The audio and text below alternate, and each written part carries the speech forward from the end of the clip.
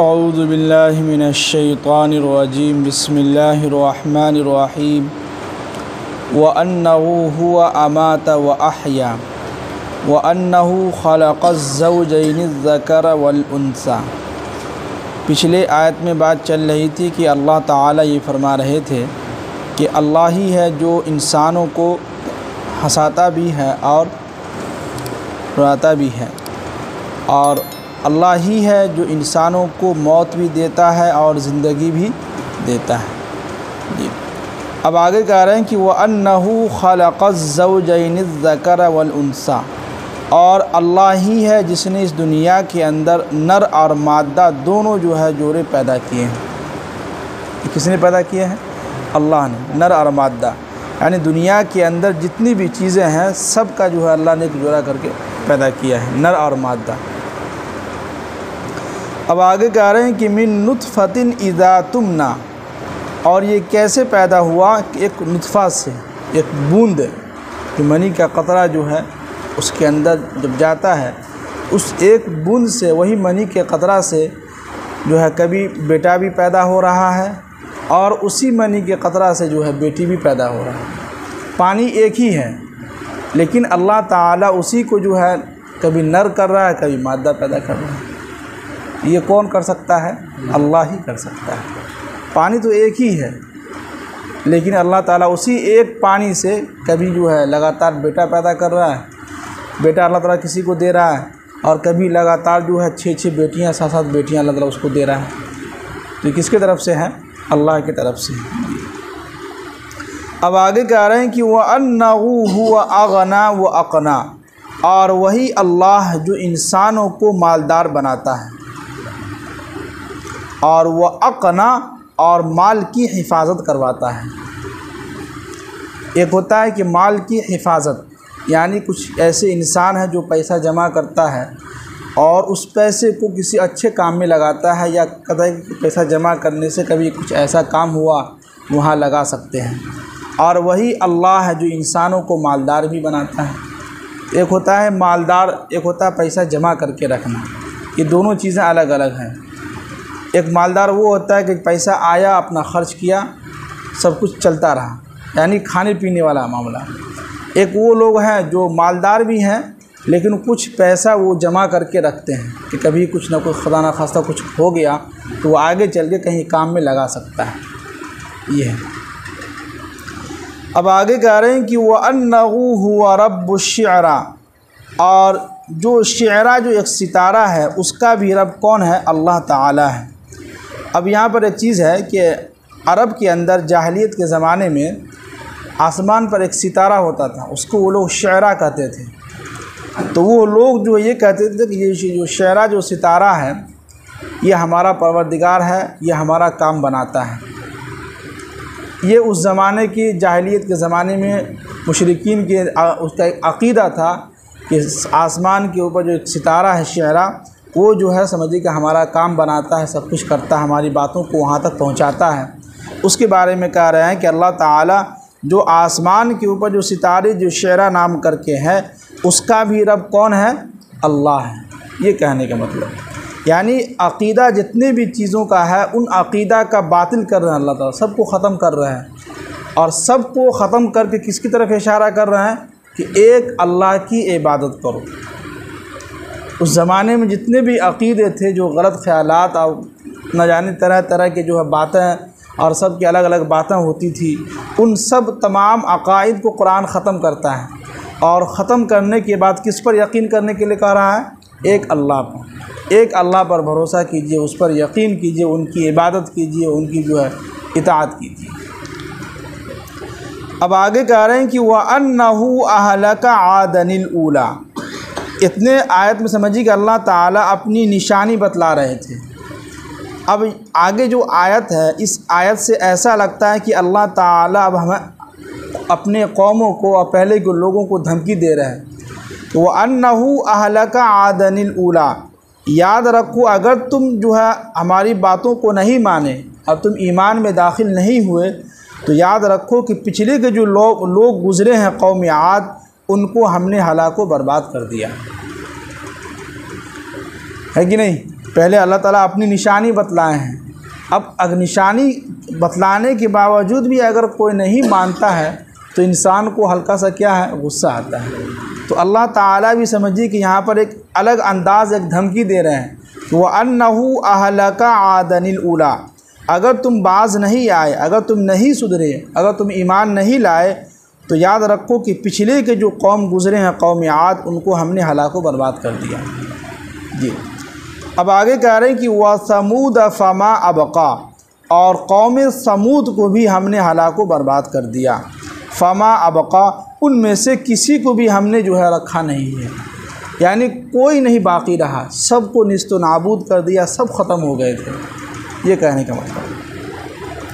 अब आगे कह रहे हैं कि वह कौम नूहिम कबल, के इससे पहले नूह सलाम की कौम को भी हमने क्या किया? हलाको बर्बाद कर दे, दिया। जी। अब आगे कह रहे हैं कि इन नहुम कानू हम अज़लम व अतगा। और ये कौम नूह की जो, नूह सलाम के जो कौम थे, वो इतना ालिम और सरकश था, बहुत ालिम था। कैसे? कि जब नूह सलाम लोगों को दावत दिए, दावत देने के बाद तो कुछ लोग ऐसे थे, उन्होंने कहा कि ए नूह, कल जो है तुम, यानी बचपन में तुम हम लोगों के साथ घूमते फिरते थे, खेलते थे, हम लोग के साथ बैठते थे, आज तुम इतने नबी बन गए हो, या तुम जो है बीस साल के हो गए, चालीस साल के हो गए हो तो आज तुम हम ही को दावत दे रहे हो एक अल्लाह की बात करने के लिए?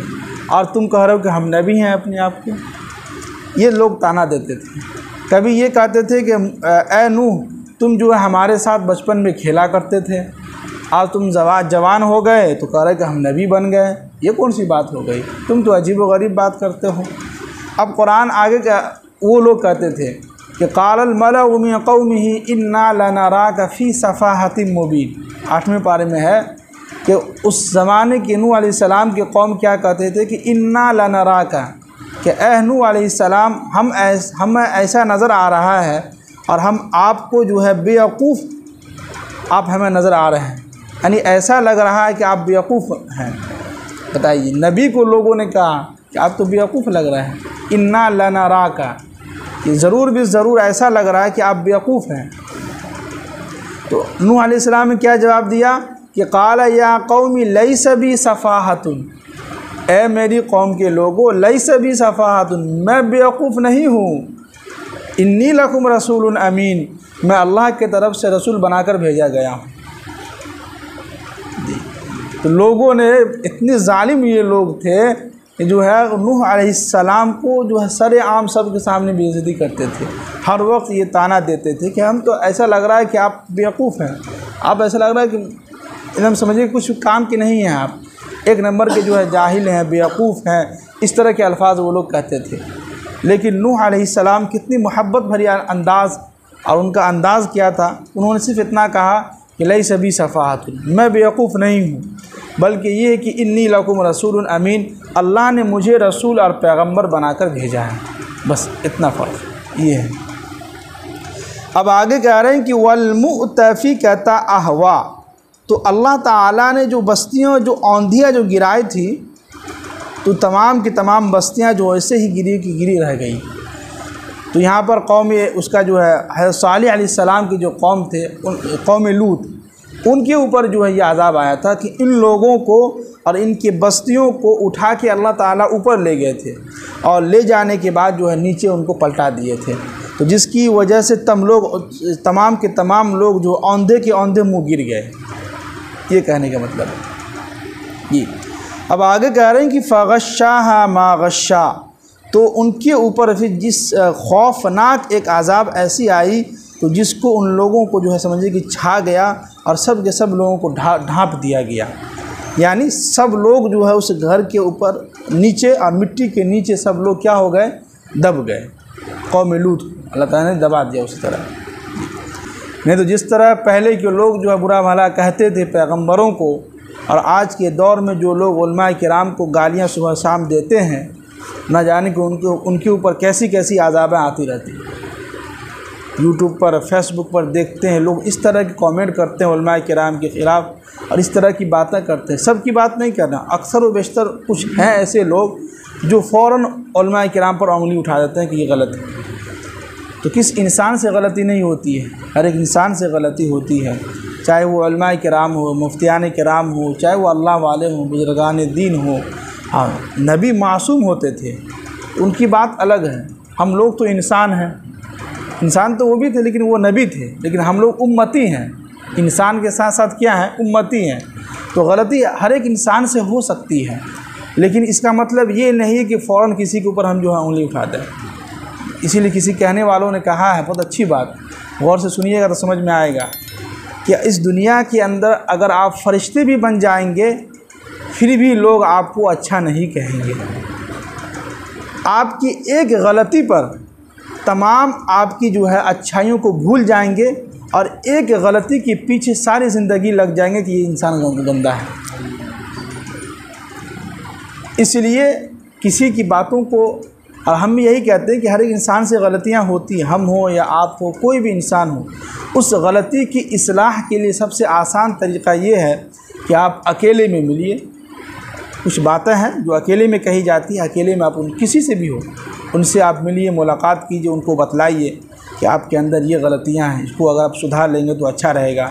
नमाज़ के अंदर थोड़ा आपसी, आपसे ये गलती हो जाती है, हो गई है तो इसको थोड़ा सुधार लीजिएगा। ये सब चीज़ें अकेले में कहने से इंसान का दिल क्या होता है? खुश होता चलो भाई, अच्छी बात है, उन्होंने अकेले में कहा बाकी इस दुनिया के अंदर कोई भी इंसान जो है, समझिए कि गुनाह से धुला हुआ नहीं है। हर एक इंसान से गलतियाँ हो जाती हैं, लेकिन शर्त यह है कि वह इंसान माफ़ी भी मांग ले। है कि नहीं? वो कहते हैं कि गुनाह करके गुनाहों पर डट जाना ये शैतान का काम है, और गुनाह करके तौबा कर लेना ये इंसान का काम है। तो हम लोग क्या हैं? इंसान हैं। अल्लाह ताला हम सबको अमल करने के तौफीक नसीब फरमाए।